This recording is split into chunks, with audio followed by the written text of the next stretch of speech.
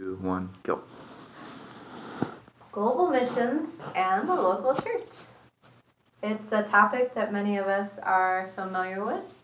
Um, something we've probably sat and listened to for hours um, on end altogether. And even now, just with me like bringing it up, you're probably tempted to roll your eyes or tune me out. Um, I'm asking just that you spend a few minutes listening and considering what I have to say. Um, have we actually given much thought to this?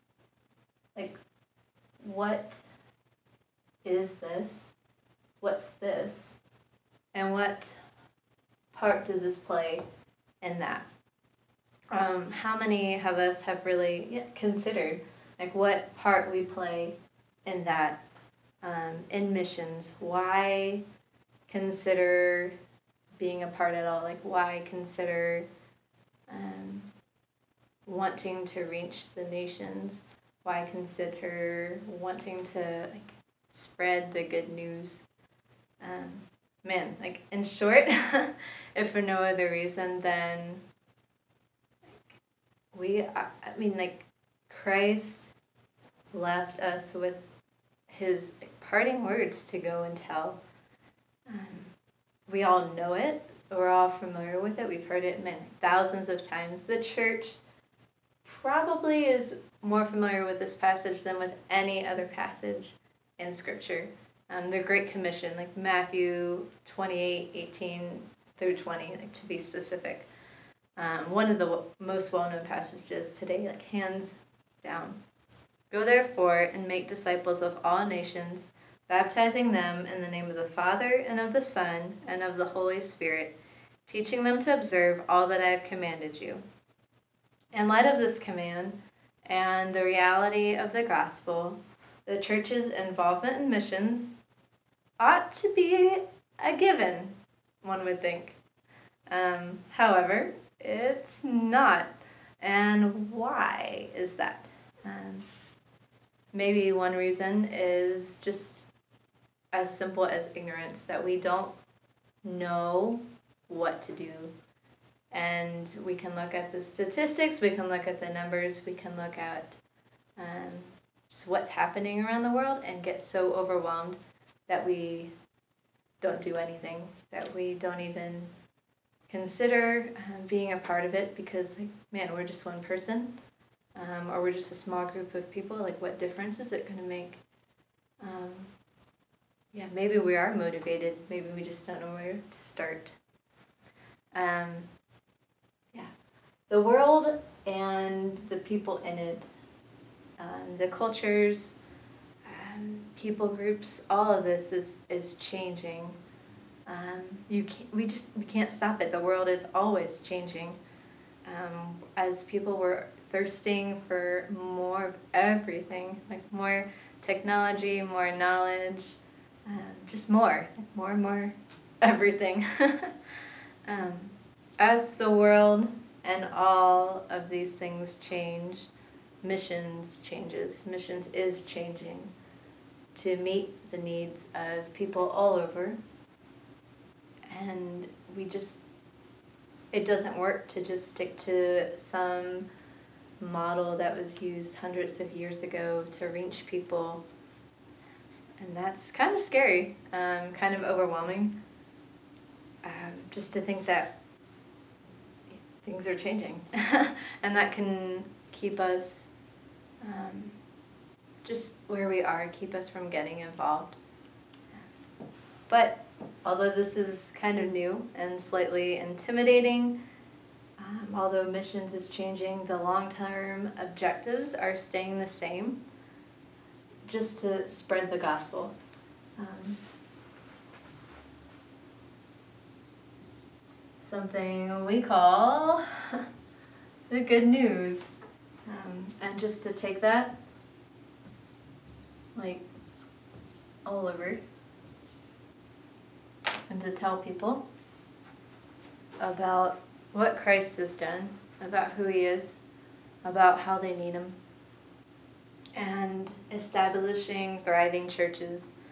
Um, sharing the gospel as Christ works through us, drawing people to Himself, saving people, and then discipling them, teaching them um, just I mean, how to follow Him and how to to go and then tell others about Him.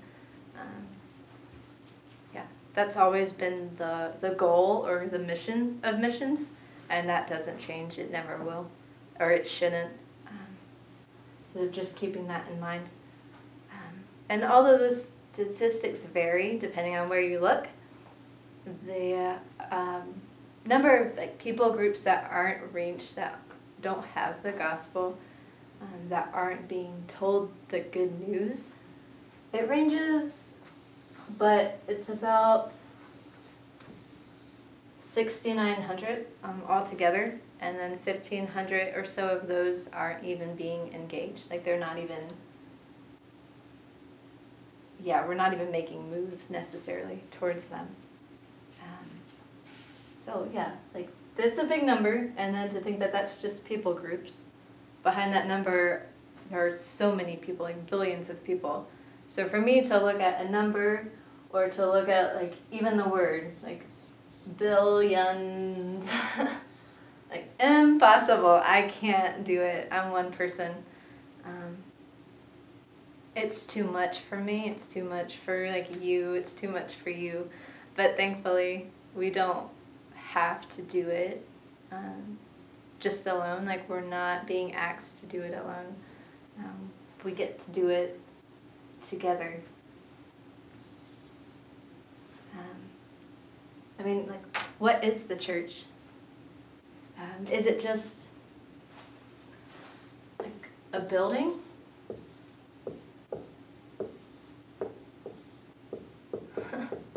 like, is it a group of people getting together on Sunday mornings and like they're all dressed up and like happy and like they're singing and like they're reading the Bible? Or is it a group of like collective individuals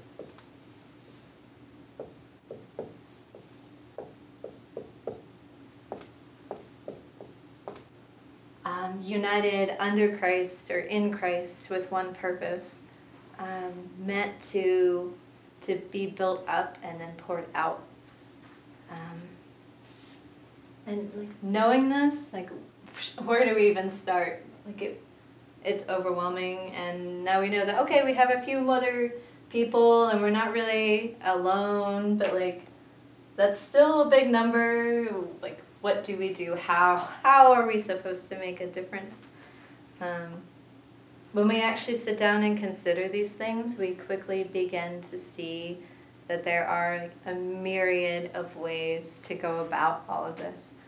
Um, there are gospel sharers who are directly involved with people in another culture, like telling them this in their own heart language. And whether that's living among them or whether that is um, using a trade skill, like, man, there's a need for electricians and doctors. Um, but yeah, they're, they're working cross culturally to share this with people. Um, and then there are people stateside, like there are people like on the home front, you could say, and who are coming behind them and helping them to go and tell. Um, they're co-laborers. They're people holding the ropes, as William Carey um, said. He gave that illustration. Uh, so the people going, the people sending others, equally important, like equally vital, equally necessary. Um, yeah, all like the church working together on mission. Um, from my limited experience and from like multiple conversations with missionaries on the field, uh, currently serving, have been for years. Um, loneliness, depression, exhaustion, and like a host of other um, just discouraging things. It's a normal part of life.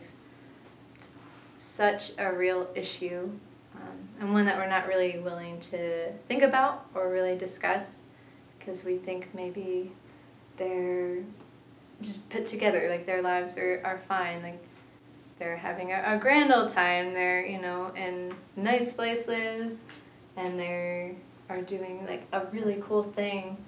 Um, but man, it's so hard, so hard.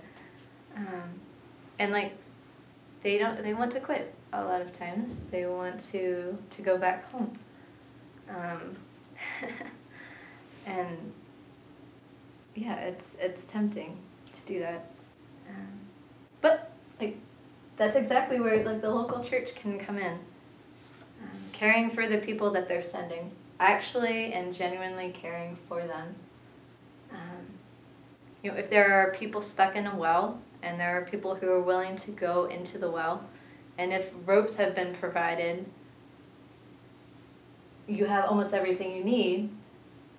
But if you don't have people willing to hold the ropes so people can climb into the well, you're missing something. Um, and who like who's going to hold them? Um, when missionaries are losing heart, who's going to encourage them to persevere? Who's going to remind them of truth, if not their brothers and sisters who are home? Um, so, like, as we're here, just in the States, wherever we are, um, as we're like diving into the Word of God, which we like happen to have in our own language, um, as we're like pitting money in an offering plate that's passing by, as we are joining together in prayer, like, are we truly considering our involvement in this? Our, our part, our involvement in spreading this all over. Um, aware of the need, are, are you, are we, um, each vital members of the body of Christ, owning the need and engaging with it, engaging in it. Um, and that's locally, like right where we're at, and globally. And God's given us all we need, including just one life. Um, the author of Ecclesiastes says it this way um, that life is a vapor, that it's here and then it's gone. And in conclusion, like that's all I want to challenge you with is to humbly consider these things.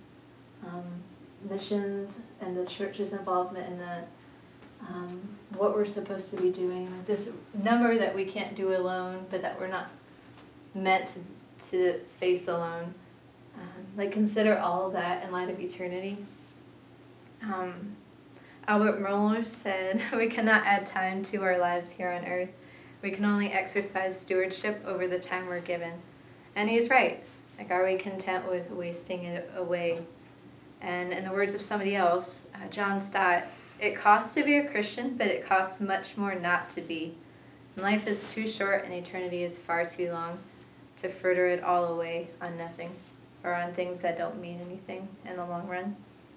Um, and man, like in light of what Christ has done for us, and like the love that He's shown for us, why in the world would we want to fritter it away?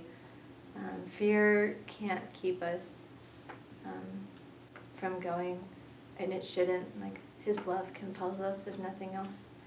So, thanks for listening.